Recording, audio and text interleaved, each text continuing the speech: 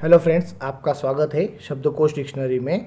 तो आज हम जानेंगे इंडेक्स नंबर का हिंदी अर्थ क्या होता है। तो फ्रेंड्स, इंडेक्स नंबर का हिंदी अर्थ होता है क्रमांक संख्या या फिर सूचकांक या फिर सूचक अंक।